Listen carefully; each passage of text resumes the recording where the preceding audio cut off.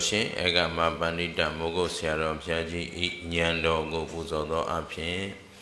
ပဋိစ္စသမုပ္ပတ်တရားအရာသာများကိုညီညာဖြပြရွတ်ဆိုပူဇော်ကြရအောင်မူလနဖြာသစ္စာနခုလေးခုအလွာအင်္ဂါ12ပါး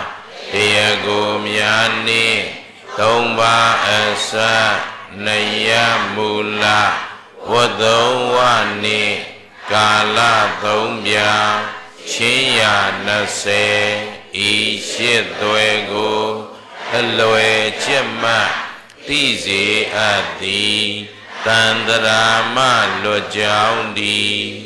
ဖောက်ပြန်ခံစား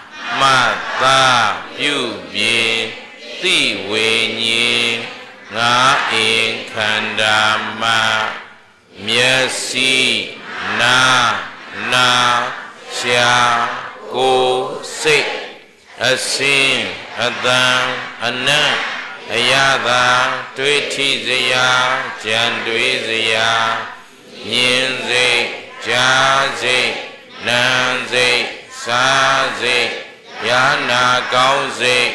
တွေ့တော်စိတ်မြင်စိတ်ကြားစိတ်နာမ်စိတ် စားစိတ်ယာနာကောင်းစိတ်အပြင်ဧည့်သည်ငါရောက်လောဘစိတ်ဒေါသစိတ်မောဟစိတ်အလောဘစိတ်အဒေါသစိတ်တွေ့တော်စိတ်တတွင်ဧည့်သည်6ယောက်လေကိုထုတ်သောစိတ်လေကိုသွင်းသောစိတ်ဟိန်သည်နှစ်ယောက် စိတ်ဓာနုပတနာအရှုခံတရား73ပါးဥပိ္ခာဝေဒနာမျက်လုံးမှာပေါ်သည်ဥပိ္ခာဝေဒနာနာမှာပေါ်သည်ဥပိ္ခာဝေဒနာနှာခေါင်းမှာပေါ်သည်ဥပိ္ခာဝေဒနာရှာမှာပေါ်သည် ဒုက္ခဝေဒနာကိုမှာပေါ်သည်ဒုက္ခ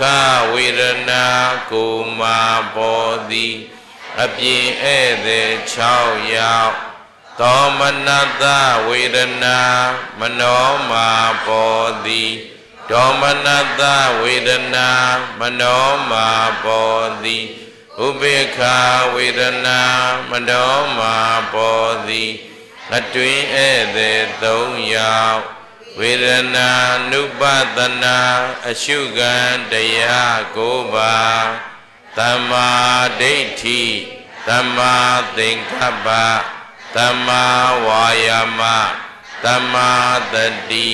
သမ္မာသမာဓိသမ္မာဝါစာသမ္မာကမ္မန္တာသမ္မာအာဇီဝ လောကုတ္တရာမေခင်၈ပါးနိဗ္ဗာန်ရောက်ကြောင်းတရားအဝိဇ္ဇာနှင့်တဏှာအရင်ကံဥပါဒံကံကြောင့်ယုံနံဘောအပင်မာမျိုးမျိုးမအပင်အမြင်မပြဆက်စတိဟံကံကြောင့်နံယုတ် နံယုတ်ကြောင့်ကံအဖန်ပန်ဖြစ်ပြန်ဤအလျောယမတကြစသည်များကထင်ရှားပြုပြင်စီရင်ဖန်ဆင်းအကြောင်းရင်းကြောင့်လူနာများစွာတတ္တဝါတို့ဖြစ်လာရမှုမဟုတ်ဟုဉာဏ်ဖြင့်ရှု၍မျော ဖြစ်ပြသမျှသင်္ခါရဒုက္ခသစ္စာမှဖြစ်ပြမှုတွင်ငါကောင်းထင်ခင်မင်သမုဒိယမှယုံနာအလုံးဖြစ်ပြသုံးချုပ်ဆုံးနိဗ္ဗာန်မှချုပ်ဆုံးမှုတွင်ဉာဏ်သက်ဝင်သိမြင်မဲ့ဟုမှယုံကြည်ချမ်းမှစိတ်ဖြောင့်စွာဖြင့် လွန်စွာအာထုတ်နန္နိယုတ်ကိုဖြစ်ချုပ်ဉာဏ်မြင်ဤငါအင်းမံပင်မေယကြောင့်မစွတ်ကာမဆရာမရှိဝိရိယယောအာအင်ပြောကလွန်စွာယူမဤငါးပါးတရားမဲ့ဖို့ဝေလေတည်းသူတော်စီက မြတ်တရားနာလျော်စွာအကျင့်မဲ့ဖို့ကွင်းရလိဧကန္တာငါသည်မုတ်ချသေးရမည်အချိန်ပိုင်းသာလိုတော့သည်ငါသည်မုတ်ချသေးရမည်အချိန်ပိုင်းသာလိုတော့သည်ငါသည်မုတ်ချသေးရမည် အချိန်ပိုင်းသာလိုတော့သည်ဖြစ်ပြကဒုက္ခသစ္စာတိဒါကမကသစ္စာသေဒါကသမုဒယသစ္စာနောင်ခန္ဓာမလာတာကនិရောဓသစ္စာ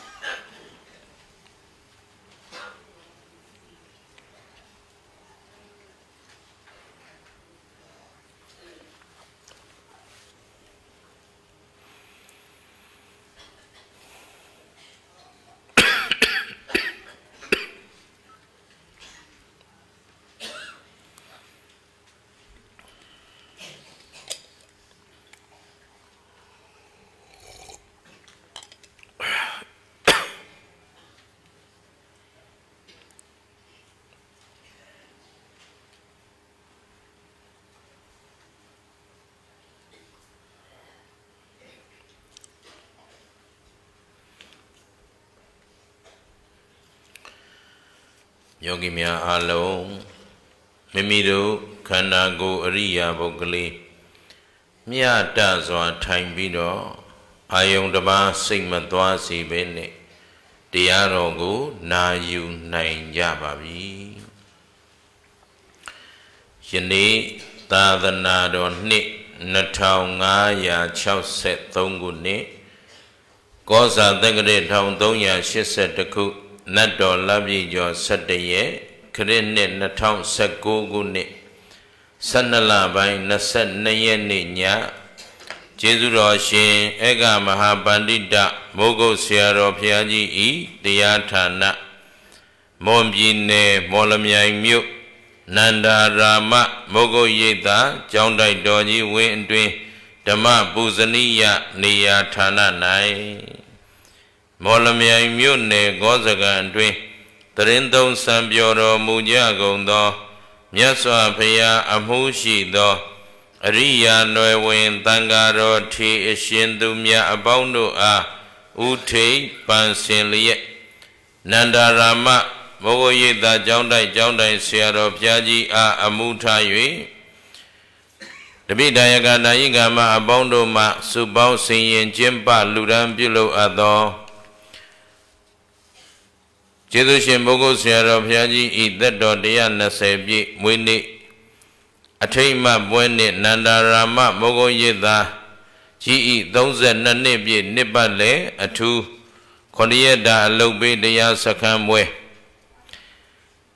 ဓမ္မဒါနကုသိုလ်ရှင်များအဖြစ်ဒုက္ခဝရီသုံးလမ်းမိသားစုမြဝတီမြို့ဥစောမြဝင်းဒေါ်နွဲ့ရင်ဝင်းမိသားစု ရွှေဘိုစိန်လန်းဒေါ်တင်မြင့်ကိုရည်စူး၍ဥပလိုင်တော်ငိမ့်မြင့်မိသားစုလမှုတန်းရဦးဆောင်တော်ချင်းမိသားစုတို့နှင့်တကွကြွရောက်လာကြကုန်သောဓမ္မမိတ်ဆွေအပေါင်းသူတော်ကောင်းတို့မှစုပေါင်းလူရန်ပြုလုပ်အပ်သောဓမ္မပူဇနီယကာလအခါသမယ၌တရားတော်နာကြွရောက်တော်မူလာကြကုန်သောယောဂီသူတော်စင်များအားလုံးစိတ်ဤချမ်းသာခြင်း ကိုယ်ဤချမ်းသာခြင်းပြည့်စုံစွာနှင့်ဦးဇင်းတို့ဟောပြောပြသမဲ့သစ္စာတရားများကိုနာလဲနာနိုင်ကြပါစေနာတဲ့အတိုင်းလဲသိကြပါစေသိတဲ့အတိုင်းလဲဒီဘဝဒီခန္ဓာမစွန့်ကြခင်ကိုဒုက္ခကိုလက်ဆသိမ့်အောင်ကျင့်ကြံကြိုးကုပ်ဝါများအားထုတ်နိုင်ကြပါစေလို့ရှေးဥစွာမေတ္တာပို့သပေးလိုက်ပါတယ်နော် သစ္စာတရားတော်တို့ကိုဟောကြားရ၌အနန္တဂုံအင်းကျေးဇူးရှင်များဖြစ်ကြသောဘုရားယရနာတရားယရနာသံဃာယရနာယရနာတော်မြတ်သုံးပါးတို့နှင့်တကွအမိအဖဆရာသခင်ကျေးဇူးရှင်အပေါင်းတို့အားပူဇော်ကျေးဇူးဆက်သောအဖြစ်၎င်းဥစဉ်ဤမျက်မှောက်သို့ယနေ့တရားတော်နာကြွရောက်လာကြသောတန္တရာဤဆွေတော်မျိုးတော်အပေါင်းတို့အား ကျေးဇူးဆက်သောအနေနဲ့ဟောကြားသွားမယ်ဓမ္မဒေသနာယဓမ္မပူဇနိယဓမ္မဒါနကောင်းမှုနိဗ္ဗာန်စုနတ်လူသာဓုခေါ်စေသော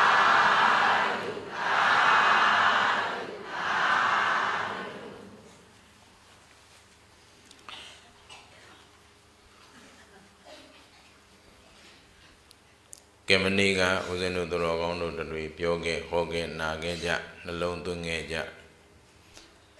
ဦးဇင်းတို့တွေတန်တရားရှည်နေခဲ့ကြတာဘာကြောင့်လဲအဲအဝိဇ္ဇာဆိုတဲ့မသိမှုကြောင့်ဘာကြောင့်လဲမသိမှုကြောင့်ဒါကြောင့်တရားအထုတ်တယ်ဆိုတာဘာလို့တာလဲ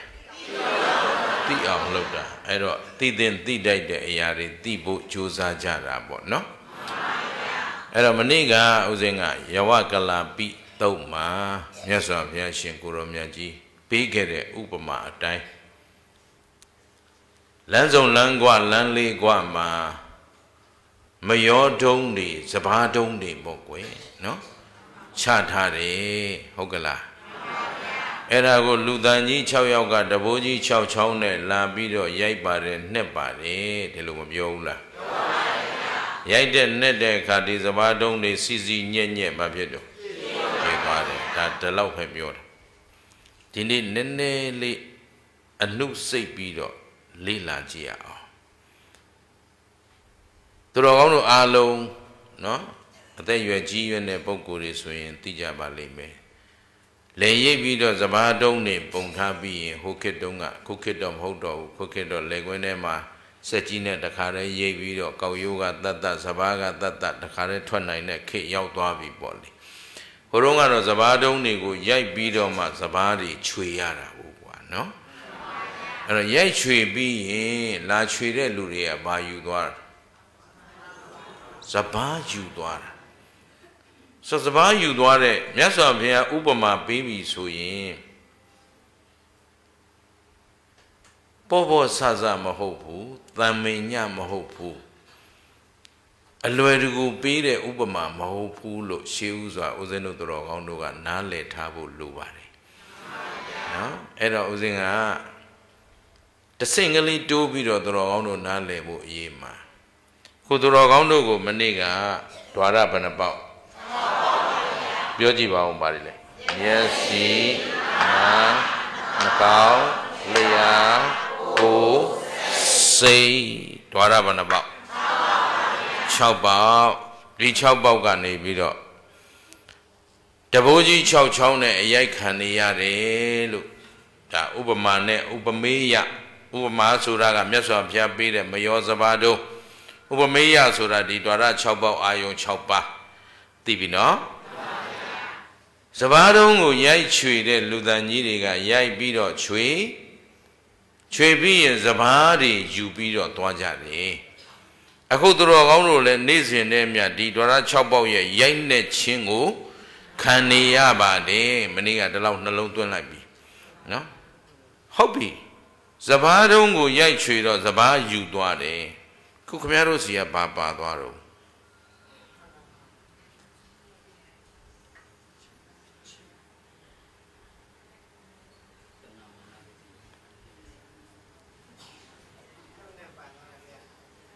သူတော်ကောင်းတို့တွေ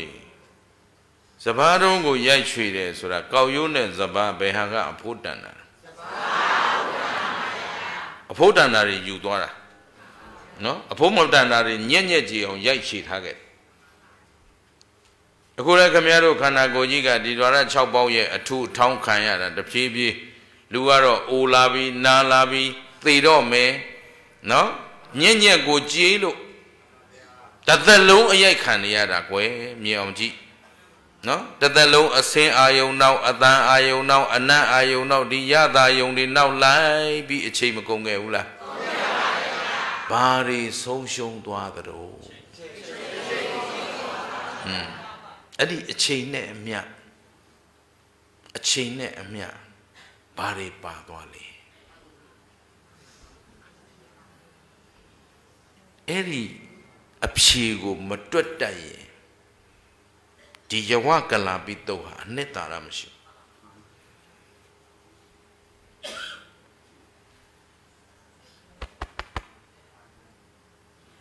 ကိုထံကဘယ်အဖို့တန်တွေဆုံးရှုံးသွားတယ်ဆိုတာကိုမသိကြတဲ့အတွက်ခင်ဗျားတို့ကြည်ကြည်နှက်နှက်ကြီးအရိုက်ခံတယ်ဟမ်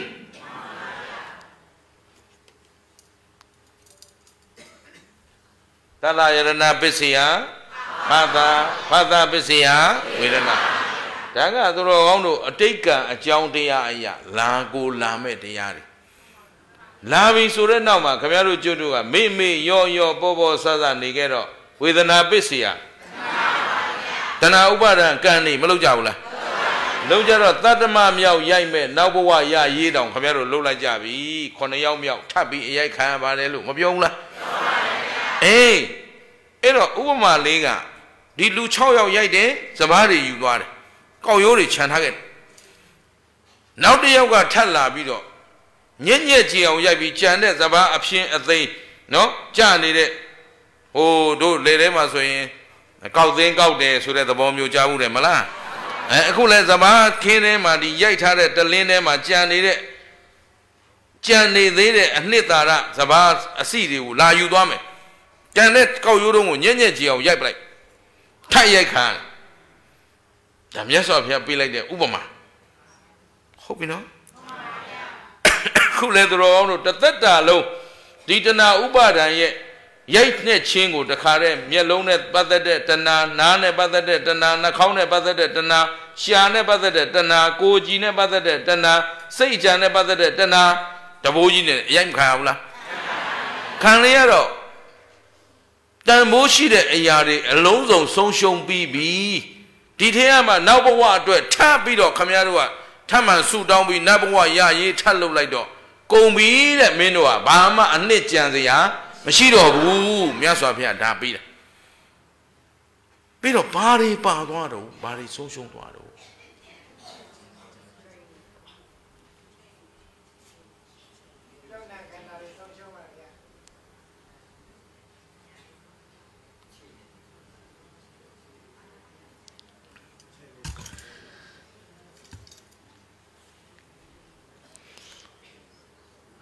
တန်တရားလဲတာဘာကြောင့်တော့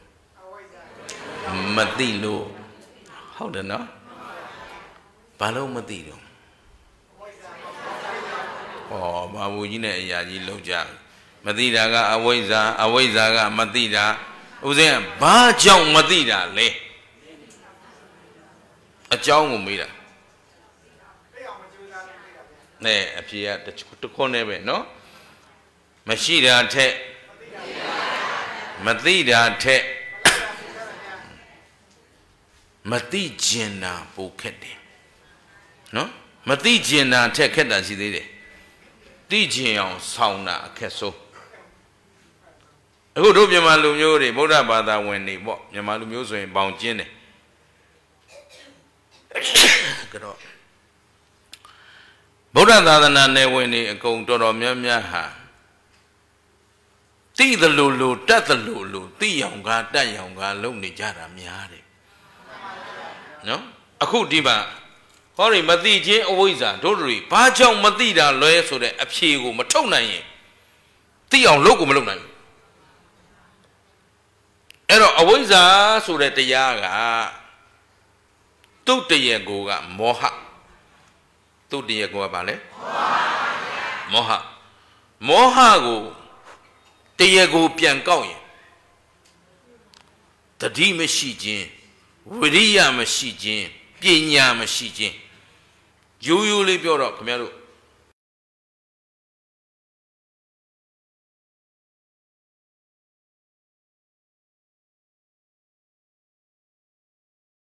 စီကဘာဆုံးရှုံးသွားတယ်ခင်ဗျားတို့မတွက်တတ်သေးဘူးရော့တယ်လုံလဝရိယနေ့စဉ်ငါဘာတွေဆုံးရှုံးနေတယ်လဲ ငါရဲ့ရယူပိုင်ခွင့်ငါဘာလဲငါလူဘဝဘာလို့ဖို့ရောက်လာတာလဲခုဦးဇင်းတို့အနိကလည်းပြောခဲ့လိမ့်မယ်ထင်ပါတယ်ဦးဇင်းအသက်50ပြည့်တဲ့နှစ်မှာလွန်ခဲ့တဲ့နှစ်နှစ်ကပေါ့အခု52နှစ်53နှစ်ရောက်အဲ့တော့50ပြည့်တဲ့နှစ်မှာစဉ်းစားမိတယ်ငါအသက်50ဆိုတော့ပုံမှန်ဆိုရင်နော် ပထမရွယ်လားဒုတိယရွယ်လားတတိယရွယ်လားအဲ့လောက်ကလေးပြောပေးတာကျေးဇူးတင်ပါတယ်ဒုတိယရွယ်တန်းကုန်သွားတတိယရွယ်စတော့မယ်ဟုတ်ကလားကိုဦးဇင်းတို့တော်ကောင်းတို့ရဲ့ပြန်မြတ်သက်တမ်းက85နှစ်တန်းဒါပြန်မြတ်နော်ဒီလောက်မရှိတော့ တကယ်တော့တကဘာလုံးစစ်တန်းနဲ့တွက်ကြည့်ရင်ခုခေတ်လူတွေရဲ့သက်တမ်းဟာပြန်မြတ်35နဲ့36ပဲရှိတော့ဒါကျိုးတို့ကလွန်နေပြီတောင်ပြောလို့ရနော်ပေါ်ပေါ်မထင်နဲ့နော်မိမိရော့ရော့ပေါ်ပေါ်ဆဆနေနေကြတာကိုရရှိနေတဲ့အသက်ရှင်နေတဲ့ကာလကလေးမှာဦးစင်းကအဲ့ဒီ90မှာအမှန်တကယ်ကိုကိုကိုစဉ်းစားကြည့်လိုက်တယ်ငါလူဘဝကိုဘာလို့ဖို့ရောက်လာတာလဲအဖြေထုတ်ကြည့်တယ် ငွေအတွက်လားငယ်ငယ်လေးကလေးငွေကိုကျုပ်ကသိမ့်မုန်းတာလိုချင်ဘူးမုန်းတာဆင်းရဲလို့ငယ်တုန်းကငယ်တုန်းကဆိုတာငယ်ငယ်တုန်းကမဆင်းရဲဘူးကိုတကယ်သုံးရမယ့်အရွယ်ရောက်တော့မှသုံးနိုင်ဖြုံးနိုင်တဲ့အရွယ်လဲရောက်ကောအဖေမိမပတ်စံမရှိတော့အဲ့တော့ကျုပ်ကရှားပြီဖွေးရပြီအဲ့တော့အဲ့ဒီငွေနောက်ကိုတကောက်ကောက်လိုက်ရင်လူတွေတန်ဖိုးရှိတဲ့ဘဝတွေဆုံးရှုံးနေတာကိုမြင်နေတယ်ကိုကျင်တရားတွေပြက်ကြနော် တခါလေလူဘဝရဲ့အနှစ်သာရဖြစ်တဲ့သီလသမာဓိပညာတွေဆုံးရှုံးနေတယ်လုံးဝမကြိုက်ဘူးဦးဇင်းငယ်ငယ်တော့စာတွေအများကြီးရေးဘူးတဲ့အဲ့ဒီစာအုပ်တွေကအိမ်မှာသူများအိမ်ငှားနေရတာဆိုအိမ်ပိုင်ရှင်အကုန်ရောင်းစားအကုန်ရောမရှိတော့ထားလိုက်တော့အဲ့တော့ငွေဆိုတာမျိုးကလည်းတည်ရင်ကိုယ့်နောက်ပါသလားအလုံးသိတယ်ငွေရှာဖို့မဟုတ်ဘူးဒါဖြင့်ယာဒူးလား လုံးဝမလိုချင်တာဦးဇင်းထင်ပေါ်မှာကြော်ကြမှာအကြောက်ဆုံးကိုဓမ္မကရိယာလုံနေတာလေအရင်ကစေတနာတစ်ခုတည်းနဲ့ဒီပလင်မော်ကိုတက်နေတာဦးဇင်းရှေ့မောက်ကိုရောက်လာတဲ့တရားနာပိသက်ကိုဦးဇင်းသိသမျှတတ်သမျှလေးတွေမျှဝေပေးမယ်အသိဉာဏ်ဖွင့်ပေးမယ်ဆိုတဲ့စေတနာတစ်ခုတည်းနဲ့တရားဟောနေတာ25နှစ်တစ္ဆာဆိုရဲတယ်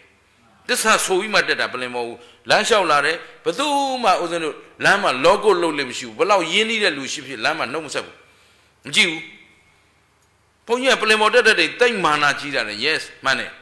ငါဖျားရှင်ရဲ့တရားတော်ဟောမလို့လာတာဘသူမှလောကုတ်လုပ်เสียမရှိဘူးအပြန်နှုတ်မဆက်ဘူးဒါဥစဉ်ရဲ့ delay ဥစဉ်ရဲ့ခံယူချက်ဖះရှင်ရဲ့တရားကိုဟောဖို့လာတာကြံတဲ့အလုပ်ငါ့အတွက်ဘာမှမရှိဘူးငါရှေ့ရောက်လာတဲ့လူအားလုံးကလည်းတရားနာဖို့ပဲဖြစ်ရမယ်ဘုန်းကြီးနဲ့ဘယ်လောက်ယဉ်နီးတယ်ဘယ်လောက်သိတယ်ဒါမလို့အပ်ဘူးဘောပါလားဘယ်လောက်ယဉ်နီးယဉ်နီး အဲ့တော့ထားတရားသိဖို့ဆိုတဲ့စေတနာလေးတစ်ခုတည်းနဲ့ဦးဇင်းတို့အလုပ်လုပ်နေတာအဲ့တော့အခုလေကိုကိုကိုစဉ်းစားကြည့်မိတယ်ထင်ပေါ်ကြော်ကြားမှုဆိုတာလုံးလုံးမလိုချင်ခဲ့တာငယ်ငယ်တုန်းကမထင်ပေါ်အောင်နေတာအတတ်နိုင်ဆုံးကိုရိုးရိုးလေးပြောရင်ကိုအရေးချင်းအားလုံးကိုတိုဝက်သိမ့်စီပြီးနေတာမင်းတို့လောက်တော့ငါလုံနိုင်တယ်မင်းတို့လောက်တော့ပြင်းသေးတယ်ဒါပေမဲ့မလုပ်ဘူးအဲ့ဒီထင်ပေါ်သွားမှာကိုကြောက်တာ ဘာမှမဟုတ်တဲ့လူတွေပေးတဲ့စုကိုတက်ယူရမှာကိုကျုပ်ကရှက်တာရှက်တာကျုပ်ရှက်တာဒီလိုမျိုးသဘောပါလားဒီကောင်တွေကိုယ့်လောက်အဆင်မရှိဘူးဆိုတာသိနေတယ်အဲ့အဆင်မရှိတဲ့ကောင်ကပေးတဲ့ဘွဲ့အသွားယူရမှာကိုရှက်လုံးလို့အဖေကအဲ့တော့မထင်ပေါ်အောင်နေတယ်မကြော်ကြအောင်နေတယ်အခုတရားဟောတဲ့အလုပ်ကလည်းထင်ပေါ်အောင်ဟောခဲ့တာမဟုတ်ဘူးကြော်ကြအောင်ဟောခဲ့တာမဟုတ်ဘူးကိုရှိရောက်တဲ့တရားနာပိသသိစေရေးဆိုတဲ့စေတနာတစ်ခုတည်းနဲ့အလုပ်လုပ်ခဲ့တာ